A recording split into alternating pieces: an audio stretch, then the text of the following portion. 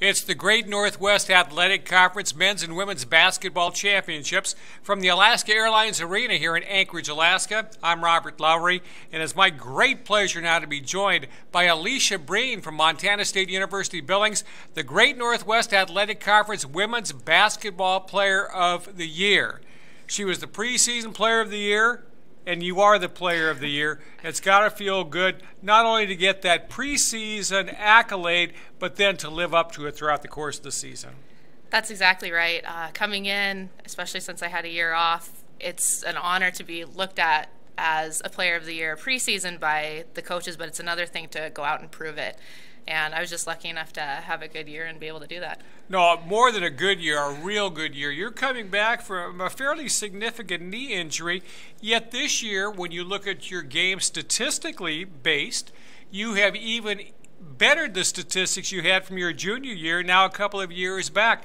What has allowed you to be so highly successful this year? I play on a great team. I have one of the best point guards in the league, and she's very good at getting me the ball um, inside, outside. Our coaches are very good at recognizing whether I have a bigger person on me so that I can take them outside or a smaller guard on me so I can go post them up.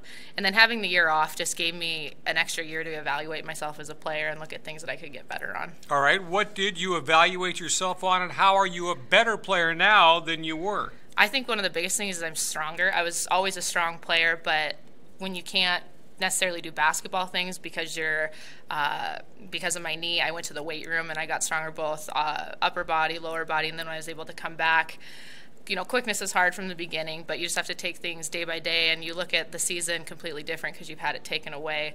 So i just go into every game you know realizing that i'm lucky enough to play basketball and be where i am and just try to get as much out of it as i can. Central washington your opponent tomorrow. Talk about the wildcats great team. This is probably one of the most talented teams I think in the GNAC uh, one through five.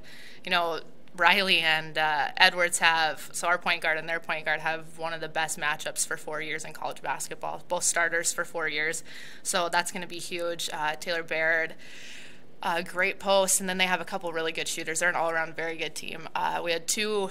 Our game up in Billings actually came to last shot. I think we won by two, and then on the road, it was another good game. So it should be a good uh, fought-out battle tomorrow.